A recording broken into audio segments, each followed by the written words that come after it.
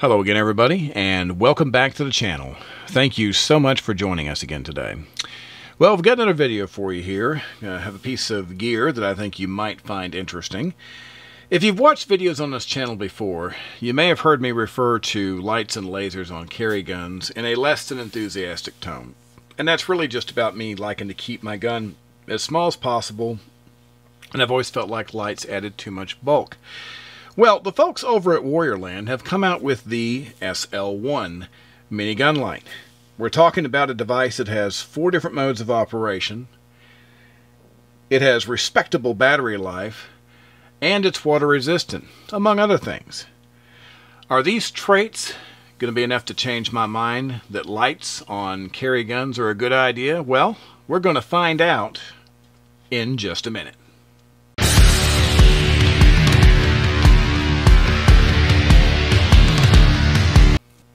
All right, once again, welcome back. Thanks again for being with us today. So if this is your first time coming to the channel, or if you've watched our videos before and you just haven't had a chance to do so before now, and you like our content, please consider subscribing. You can locate that subscribe button right there in the lower right-hand corner of your computer screen. Or if you're on a mobile device, you can scroll down below the video and you can subscribe that way. It's a simple thing that helps us out a whole lot, and we really appreciate it. So, we're looking at the SL1 minigun light by Warriorland. So just a few things here before I even get into this. I want to show you just how nice the packaging is on this. I don't even normally care about stuff like this, but this is really, they've taken the time. Everything has a place. It's very well protected, so when you receive it and you open the package up, it looks, you know, like something a $1,500 iPhone would come in. So, you know, hats off for some very well protected, not just good looking, but protective packaging. I don't normally care about those kinds of things, but I was pretty impressed, so I thought I would start there. Let's do a quick safety check. Um, let you see that the gun we're using for this demonstration is unloaded. There's nothing in the magazine. We are using a Glock 43 for the purposes of this uh, review. This particular light uh, is compatible with the Glock 42, 43, 43X, and the Glock 48. So, the first thing you'll notice, obviously, is there are four screws on the left-hand side. Obviously, if you take those four screws out, you can see there is a seam, and this simply comes apart for you to mount it on the trigger guard. Of course, there's a little recess, you know, where this fits over the trigger guard, and you simply press the two halves together, and you put your screws in. Um, this literally took less than five minutes to put on the gun. That includes taking out of the package and admiring the packaging. So if that gives you any idea how easy this is, then it's definitely easy. So you notice there's a button here and there's also a button here. Either one of these buttons will control the light, and actually for one of the control modes you need both buttons, and I'll get into that in a minute. But there's a little, you can probably see there's a lighter segment here at the very top. That is actually an LED light. That LED light will change colors momentarily when you press the button to let you know what your battery life is. If it's green, you have over 70%. If it's orange, it's between 30 and 70. And if it's red, you have less than 30%. So you have real-time battery information right there on the switch. So speaking of batteries, you may have noticed there's a little screw access here on the bottom.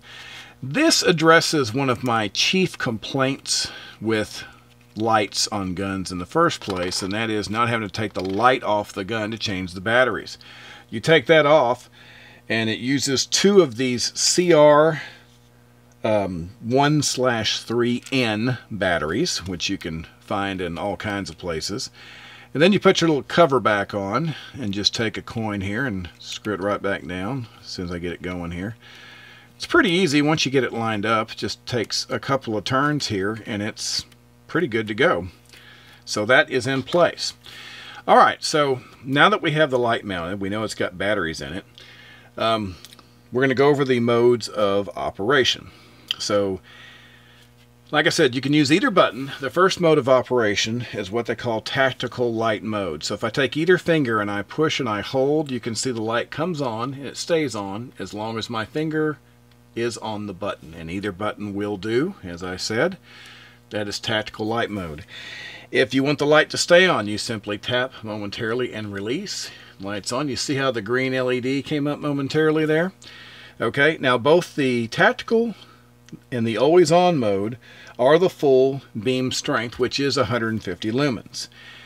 When you push the button again, it will turn off whatever mode you're in. Now, if you double tap either button quickly, you enter strobe mode. Okay, that is also the full 150 lumen strength. And you can see where the strobe mode might actually be very useful in confusing uh, a potential attacker, help you, you know, get away or make some other kind of decision. And then once again, we press this to turn it back off.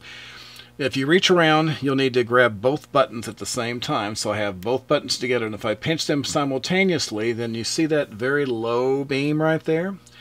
That is what they call moonlight mode, and it is the lowest ultra low mode and its three lumens. Okay, and I'm just going to sweep my finger with a light only. Okay, you already know that we are safe and unloaded, but I'm going to do that anyway just so you can see the light. We are safely just demonstrating that low mode there. So once again, you tap it to turn that back off. So once again, tactical. You got your strobe. Constant light mode here. And then your moonlight mode. So those are your four specific modes of operation for the SL1 minigun light. Alright, so just discussing the rest of the features here. Obviously, you know, we covered the different modes. You saw that you have the battery indicator here whenever you push into any mode, which stays on momentarily. Um, we mentioned that this was water resistant. It does have an IPX4 rating. As far as your battery life, if you're on any of the highlight modes, whether it's tactical, uh, you know, constant light, or whether it is the um, strobe mode. All three of those are 150 lumens, which is the maximum strength, and you have one hour of battery life if you have that any of those three modes stay on continuously. Now the ultra low mode um, is only 3 lumens, and if you use that, you have 35 hours of battery life. And, you know, one of the potential uses for that might be, you know, you may find yourself in a situation where you just need a light in order to get you out of a bad situation. You know, like a low visibility situation, you need a flashlight. That ultra low mode could be just enough to help you find things in the dark. You know, if it's an emergency situation, it would allow you to see things, you know, just differentiate between things around you just to stay safe. But the beam is effective. It's supposed to have a range of 100 meters the, on high, and then it has a 5 meter range on the ultra low mode.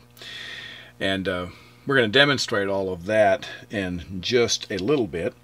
But it seems to have a pretty good set of features. It looks like that uh, you know that battery life is pretty decent, even on the high mode. So we've talked about the light itself. Let's talk about this holster for a second. So they give you this custom molded Kydex holster to go with the gun. Now, when I first saw this holster, um, I was, you know, I wasn't very thrilled because for me, and this is just me, every time I've tried to wear a, a holster like this, um, it always ends up cutting into me somehow, and I'm always uncomfortable. I just, I got to have generally something that's shaped a little bit different. But I said, you know what? I like everything else about this. I like the way it looks. It's got a really solid clip on it. it. looks like it was made well, so I wanted to go ahead and try it out. And I will tell you something. I was totally wrong about this being uncomfortable. Um, it is such a perfect fit for the gun that when it's up against the body, there wasn't a single irritating edge on this holster that bothered me at all.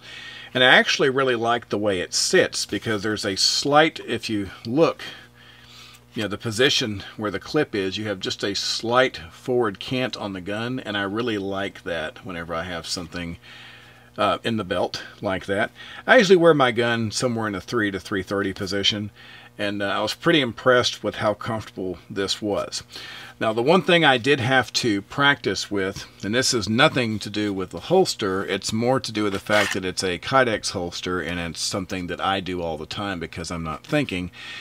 You know, when this holster's against your body and you've got your belt on, well, you know, if it's pressed up against you and you remove the firearm, well, everything's fine when it's empty, but of course, the firearm comes out and then it smashes against the body, well, the space to get it back in can sometimes be, you know, resistant to drop back in. Well, all you have to do is when you're coming back in the holster is just start on this side. You know, just press lightly against the outside when you're reholstering and it goes right in. So even the holster, when I was wearing it pretty tight on my belt, with a little bit of practice, I was able to reholster pretty easily. And like I said, this isn't the holster's fault. This is just something that I run into because when I wear a Kydex holster, I just, you know, I don't think to do that half the time. Um, so I had absolutely no problem drawing this from the holster, easily finding it, and then putting it back in the holster with just a little bit of practice. And, you know, the combination fits so perfectly. And look at the profile. When the weapon is in the holster, I mean, the only bulk you can really see is the clip, and this is on the outside. So it's an extremely comfortable little setup. I was pretty impressed with how it felt on the body, especially with the bad luck I've had with other Kydex holsters. So I think they did a really good job with this. Well, at this point, you know, we've talked about the light and its operation. We've talked about the holster. I I don't think I can do you justice on something like this without a real um, world, you know, demonstration. So we're going to head out where we can get a low light situation. We're going to take the light and we're going to go out there and see what this thing looks like for real. So let's go do it. All right, we've relocated to a nice dark area so we can demonstrate the modes of operation for the Warriorland SL1 minigun light. So I mentioned earlier there's four specific modes. We're going to go over each one. And uh, remember there's a button on either side. I'm right-handed, so I'm going to draw from the holster here. And I'm going to use my right index finger to press and hold the right side button. As you can see, this is tactical mode. The light is on, but if I release, it immediately goes back out. Finger back on, lights back on. So as long as I'm holding my finger on the button, I got light when I release, goes away. So as you can see, there's a lot of light. This is the full intensity, which is 150 lumens, which is what you get on um, every mode except for the moonlight, which we'll go over in a minute. So 150 lumens, and then I release. All right, so there's a constant light mode, and if I momentarily tap the button, it stays on by itself. You can see my index finger is now free. So I have the same 150 lumen intensity. It will stay on until I tap it again to turn it off. And as you can see, you can see quite a good ways down the path there. I can easily see 75 yards ahead of me. And of course, there's lots of trees overhead. It's pretty dark right here where I'm at, so this gives you a scale of just how much light this gives you. So I'm gonna tap and turn that off. If you double tap either button quickly, it puts you in strobe mode. And as you can see, this once again is the full 150 lumens. And just looking at it against the bushes, you can see this could be very disorienting, confusing to a potential attacker. So this mode might very well have some use for you. And then once again, if I tap, that'll turn that off. Now the last mode, if you grab the buttons on either side, press them simultaneously, you get what they call moonlight. You can see it's a much lower mode here. It's only three lumens.